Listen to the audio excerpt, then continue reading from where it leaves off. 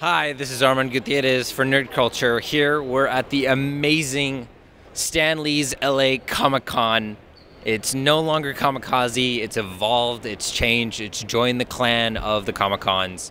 And if there's one thing I would like to say, welcome. Welcome to the Comic Con family, Mr. Lee.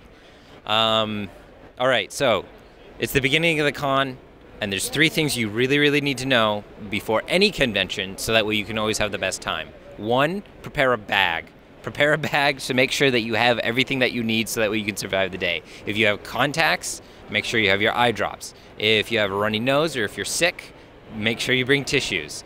Think of the things that always go wrong in the past when you travel and make a little bag and put that in and always make sure there's space for you to buy your shit and put that stuff in your bag. So that way by the end of the night you're not carrying around a whole bunch of bags.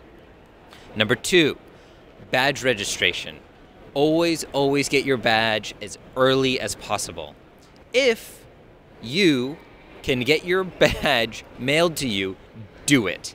If you can get your badge the night before the event do it. If you can get your badge hours before the event even starts, do it. Because when you try to get your badge and the event has started, everyone else is also trying to get their badge, and it's always a huge, long, horrible line. And then the last thing is the thing I see at every single convention, and that is simply one thing and one thing only. There's a lot of us. There's a lot of us at this convention, and it gets really hectic and gets really crazy, and it gets really difficult. And you know what?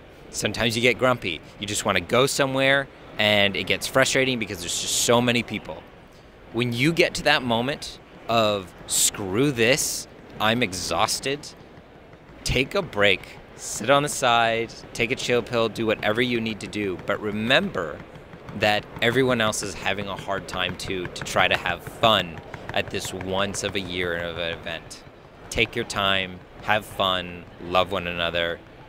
Realize that sometimes, yeah, sometimes people are just rude, but other times people are frustrated and mad because they may have been treated wrong or something crazy might have happened to them.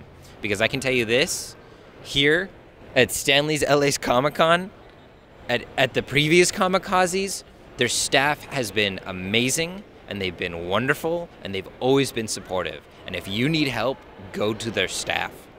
So that's my first three tips. That's the three tips I got. That's the first video that we got. Welcome to LA. Welcome to Stan Lee's Comic Con. I'm Armand Gutierrez. This is Nerd Culture. I'll see you later.